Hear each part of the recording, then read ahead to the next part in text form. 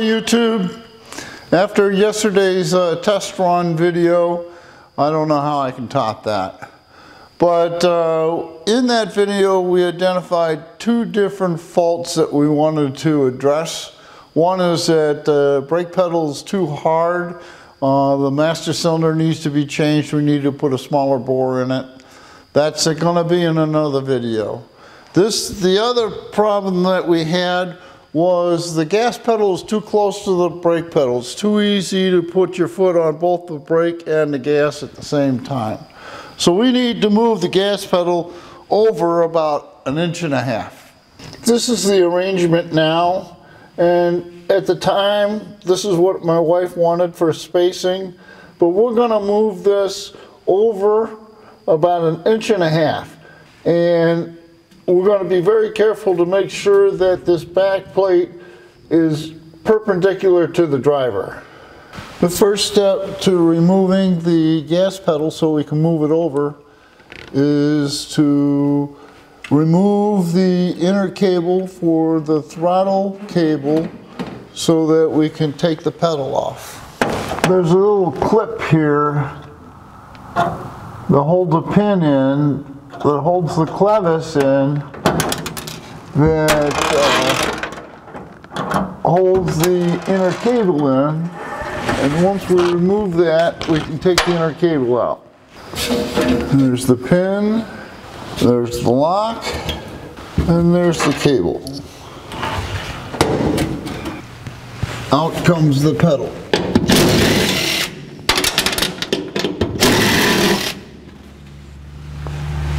What we have to do is cut some of this uh, old foundation out for the old uh, gas pedal. I'm going to leave the side here because I can use that to tack to to put the new one in, but I'm going to cut the front off. So here we go.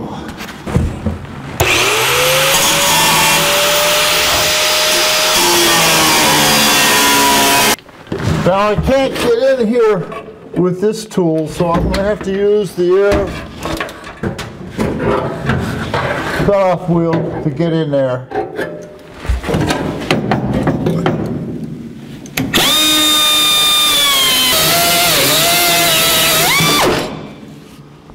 And now we have a place to put our new uh, base. What we're doing here is making a template. I've already made three of these and I think I've got it pretty much down to what we want to do. But it's certainly cheaper to make it out of paper first. I think I want the top fold to be a little further out.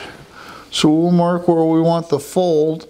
And from the fold this was a perfect measurement. So let's mark that this is where we're going to cut it. This is where we're going to fold it. Now we'll cut it out.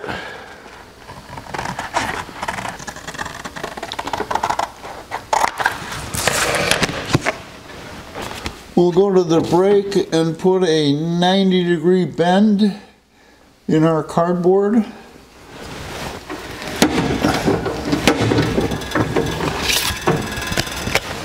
Let's see how our template fits. And I like it except for this corner right here. This is not straight up and down. I have to trim a little bit off here in order for it to sit square up against that uh, dog house. Let's take that much off.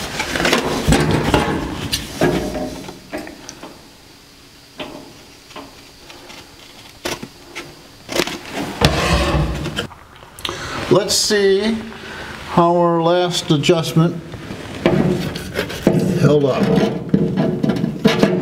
If I put a level on there, we're nice and level. I like it. This is the center line of our old bolt holes.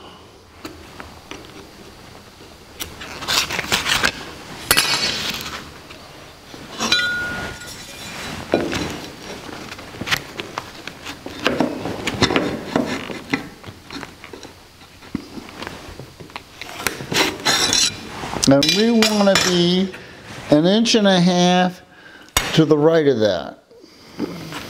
So that's right here.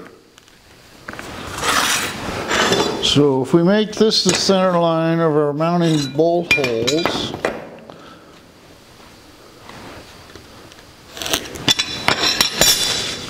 that'll move the pedal over an inch and a half.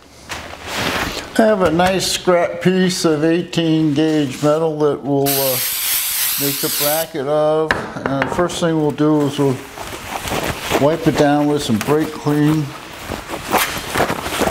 because it is dirty. We'll take our pattern and lay it out. This corner is nice and square. So we'll only have to cut two edges and that's okay with me. Now we have to go cut that out. We'll cut out our piece on the bandsaw uh, and we'll cut the line because we drew the line on the outside of the pattern.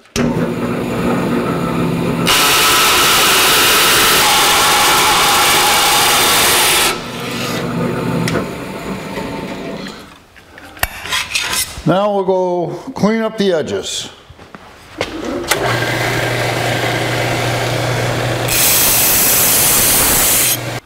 Piece of metal matches our pattern exactly down to the taper that we put in it to fit the doghouse. And now we've got to put the fold in it. So what we're going to do is just mark where it's got to go. And that's right here. And we want a 90 degree bend on that. And what we need is a 90 degree bend and we'll carefully clamp it right on the line and give ourselves a 90 degree bend.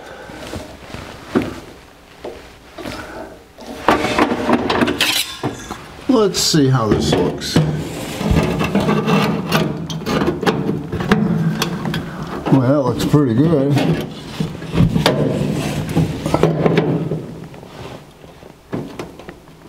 and level. So now I got a nice tight joint. I think that's good. Okay, we want to be an inch and a half outside of where we were before. So I'll put a little scratch mark. That was the center line for the old bracket and what we want to do is move it over an inch and a half which is right here. So we'll scribe a line.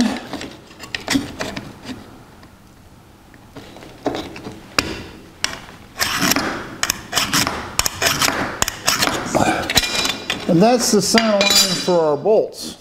The bracket for the gas pedal wants to be centered on that line. So let's visually center it and see how far off we are. That's three quarters of an inch. That's a little less than three quarters of an inch. That's a little more than a half inch. And that's a little more than a half inch. So we're good. Now what we need to do is put a punch mark on our center line in the center of the hole. And that's the first one. And we're going to have to drill some holes for those bolts to go through.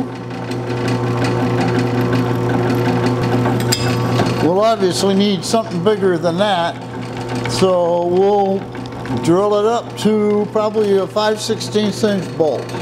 Now we're going to drill a 21 64th inch hole so our 5 16 inch bolt will pass through the hole. And we'll put a little bevel on our edge.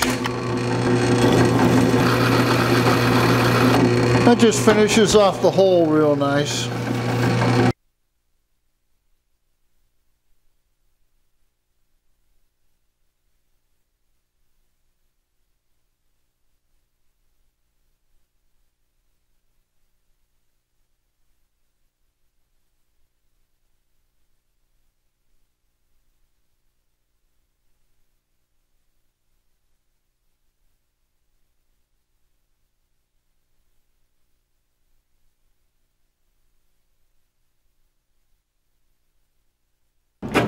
Check one more time. We got a good spot.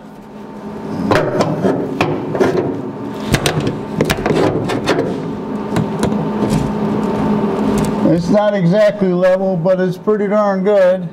So we're going to go with it. We're just going to burn it in.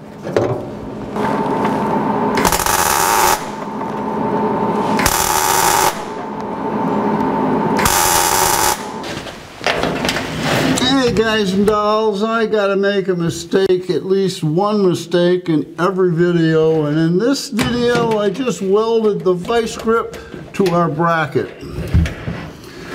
The only way to get it off is to cut it off. Well, we're to attempt to uh, remove these vice grips.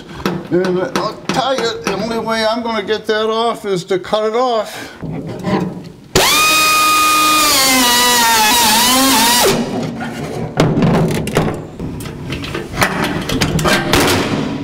There we go.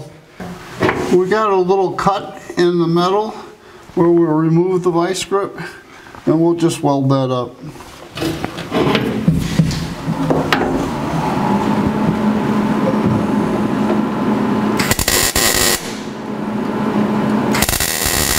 Now that it's welded in, let's bolt the pedal up and we can work on finishing this installation.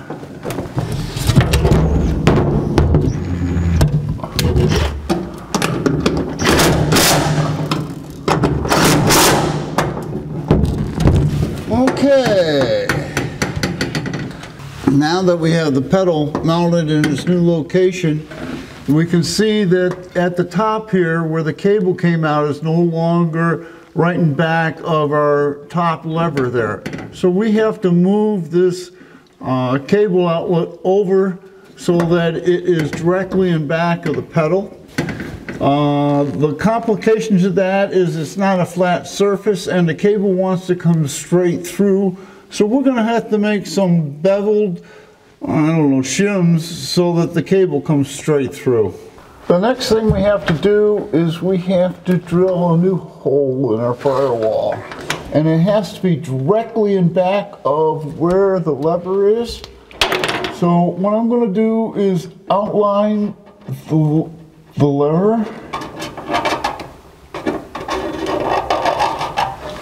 And that way I can punch it. I'll take the pedal off.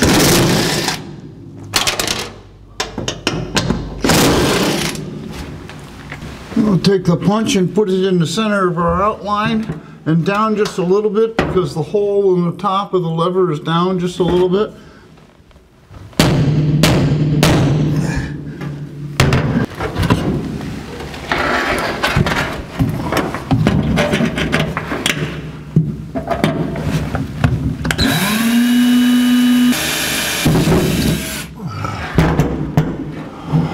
Now we'll take the cable end out of the old hole.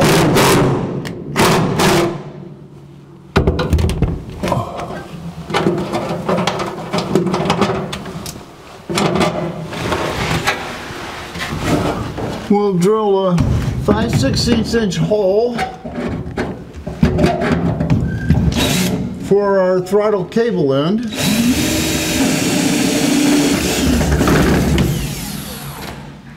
And we'll see if our cable end will go through that hole. Looks good. This throttle cable was meant to go into a flat firewall so that when you put the jam nut on, the firewall would be sandwiched between the set nut and the jam nut. My firewall is at an angle, so I can't do that Otherwise, the cable will come through at an angle and it'll bind on the edge.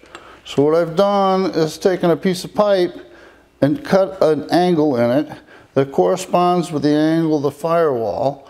And I'll put that on the cable and then I have a second one that corresponds with the first one.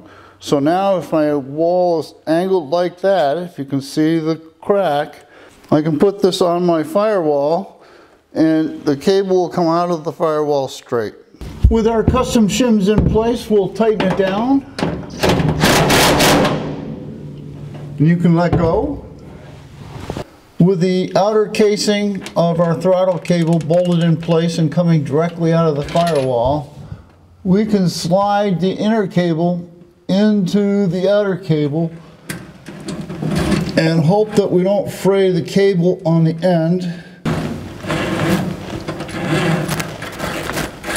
And there we go.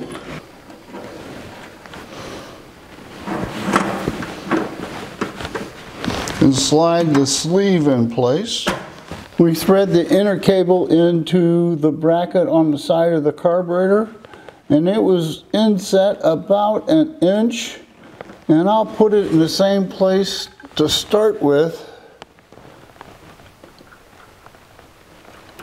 We may have to adjust this. So I'm not going to get that too tight. We'll come back. Next, we'll bolt the pedal back in place.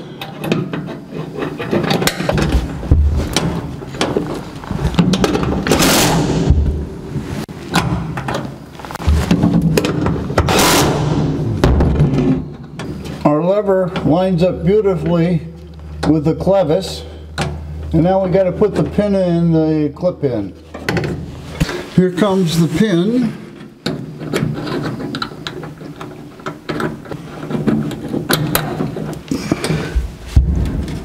Now to get this little clip on.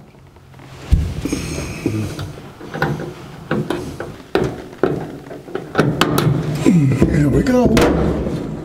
We got it. That seems good. I don't want to pump it too much. I'll fill the motor with uh, fuel. But I think that's good. With the carburetor empty of gas, we can pump this all we want. It has a real nice feel through the whole travel. Returns real nice. It doesn't bind. We have full travel on the carburetor and the loud pedal works as it should when everything is turned on.